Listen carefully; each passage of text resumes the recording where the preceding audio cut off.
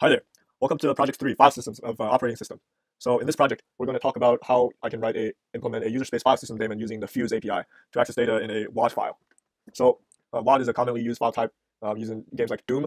So um, for our sake, we're writing a user space, we're developing a library to um, present WAD data in a data structure we call a WAD. So um, in this library, we write, uh, I named our object uh, WAD here, and then a assistive object called descriptor, which is uh, basically functions like a node. Um, so what we do is we take in a WAD file, we look at the headers, um, record the number of descriptors, magic numbers, and uh, the descriptor offset. So uh, we're going to um, read them byte by byte. So before all that, we implement the load WAD file, uh, where we read in the actual binary um, a byte at a time and put them into a byte array, uh, to a byte pointer called p data. And then this p data is stored as a member variable of WAD.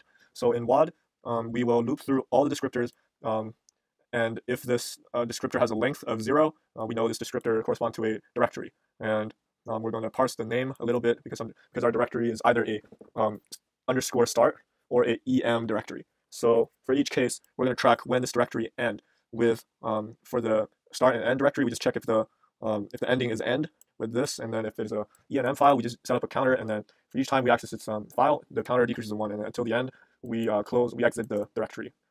So this WAD objects constructor is how we set up the path for each descriptor. Um, and once we initialize WAD, um, we can quickly get the magic number, check contents. So we so we iterate through the vector of all the descriptors, and then we see if the path for each descriptor matches what path we're looking for. So if it has a length more than zero, it has contents. Otherwise, it's a directory. And then get size. So uh, get contents. We copy the, the, the contents into this buffer. And the most annoying part is the get directory method. So um, the reason why this creates problems is because uh, we don't want to include files in the subdirectories.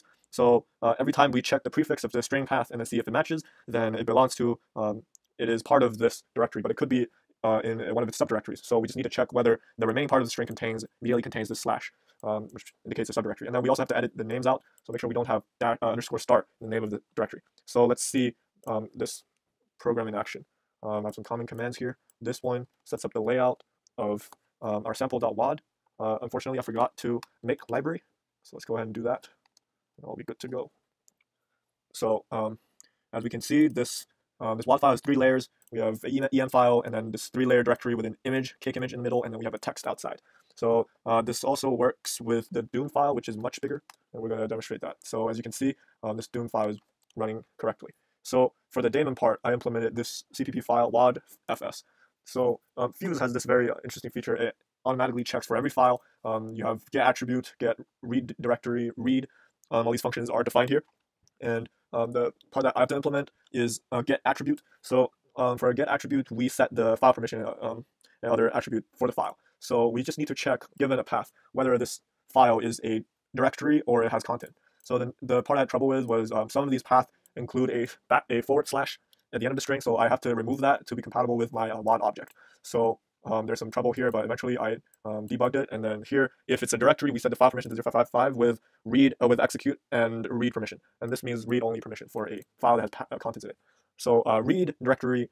Um, I also had the same problem where some of the path uh, does not have a slash uh, despite being a directory. So I have to append a forward slash at the end for it to work, including a special case of uh, root directory. So once we have that, we just need to get direct call uh, invoke the function call um, get directory to load all the uh, all the um, entries in that directory directly into this vector named entries, and then we just um, fill in each entries to the fill each entries to this buffer, which will display our um, um, our LS results. And then read uh, just enable us to um, to cat a file, read the contents. So we just simply call get contents if oh shoot if this has any content. Uh, oops. So um, we're gonna see that in action. Um, okay, I am going to compile this. Okay. All right and I'm going to mount um, I'm going to mount sample wad onto this directory I called mount dir. So now mount dir has um, the directory layout of our sample.wad, and I can easily see what these um, files contain with um, cd and nano. So uh, since these uh, files should be readable, I should be able to nano in there, um, but we obviously can't write it because we didn't implement that, so that's why it's read-only.